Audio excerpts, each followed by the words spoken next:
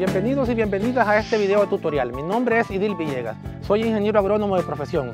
En esta oportunidad estaré compartiendo el proceso de elaboración de dos productos orgánicos, el EM5 y el foliar de frutas, ambos muy utilizados en el manejo de cultivos, tanto a nivel de huertos familiares como escolares.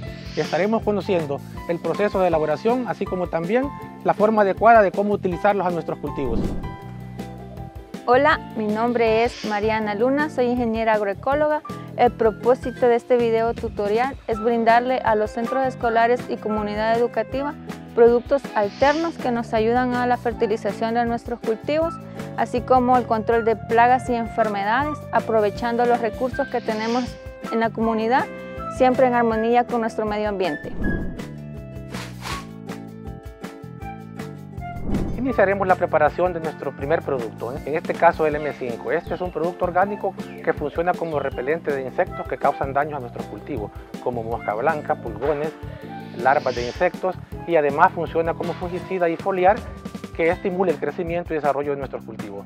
La elaboración de este producto provee a la comunidad educativa de un insumo importante en la producción de alimentos sanos y saludables. Para la elaboración de 20 litros de M5 vamos a necesitar los siguientes materiales e insumos. En los materiales necesitaremos una mesa, un cuchillo, un mazo para macerar o machacar, una cubeta plástica de 5 galones con tapadera, un guacal plástico. Además utilizaremos una libra de ajos, una libra de cebolla, una libra de chile picante, una libra de jengibre, una libra de hierbas aromáticas, en las que podemos utilizar ruda, cilantro, hierbabuena, orégano y otras que estén disponibles en nuestro medio. 15 litros de agua, 1 litro de vinagre, 1 litro de miel de panela y 1 litro de agua ardiente. Una vez tenemos todos los ingredientes listos, procedemos a su elaboración. Paso 1. Vertemos dentro de la cubeta plástica 15 litros de agua. Paso 2. Agregamos todos los ingredientes líquidos a la cubeta. En el paso 3 agregamos los vegetales picados y macerados en la cubeta. En el paso 4 mezclamos todo dentro de la cubeta hasta lograr homogenizar la mezcla. Y el quinto paso procedemos a tapar la cubeta para que se inicie el proceso fermentativo. Cuidados que debemos de tener con nuestra mezcla. Una vez que hemos terminado nuestra mezcla, en los próximos 15 días debemos protegerla y almacenarla en un lugar que se proteja del sol y la lluvia, de preferencia techado. Vamos a, a remover nuestra mezcla dos veces al día. Al término de este periodo, nuestra mezcla va a ir tornando su color a un color brillante como del barniz. Esto nos indica que el proceso fermentativo ha finalizado eh, y nuestra mezcla está lista para poder ser filtrada con una manta fina o colador y poderla utilizar en nuestros cultivos. ¿Cómo utilizamos el producto en nuestros cultivos?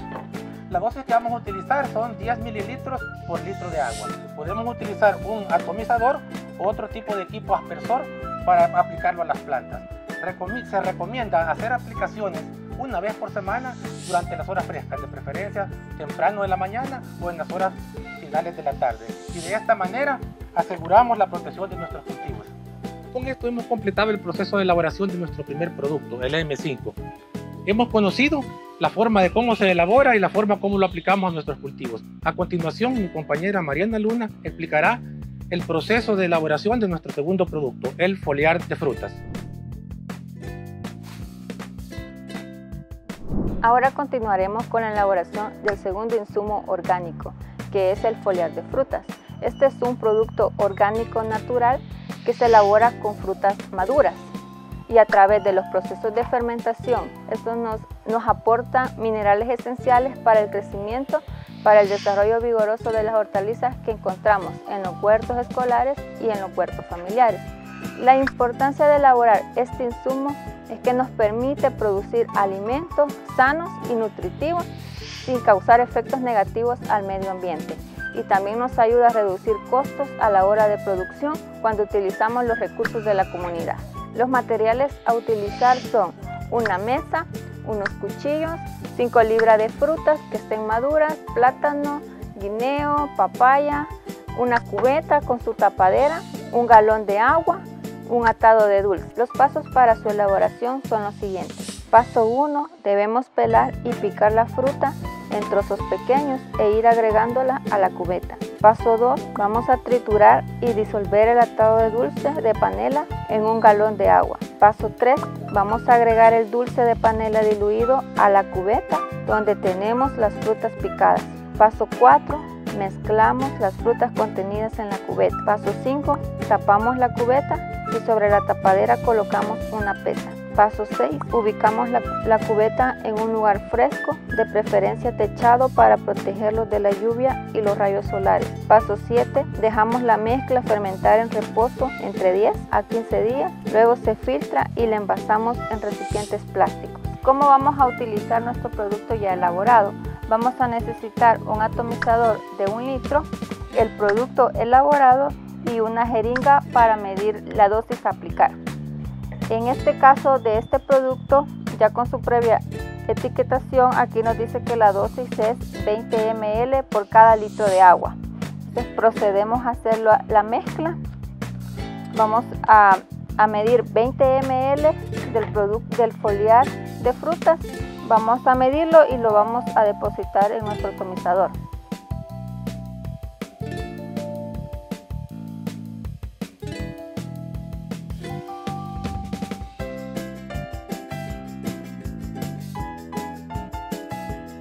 Ya teniendo nuestra solución, procedemos a la práctica de hacer las aplicaciones foliares. Siempre se recomienda hacer las aplicaciones dos veces por semana y en horas frescas. Ahora, con este video tutorial tienes todos los insumos necesarios para cuidar de tu huerto familiar y de tu huerto escolar. Recuerda que si eres menor de edad, tiene que estar un adulto acompañándote en este proceso. Gracias por acompañarnos y hasta la próxima.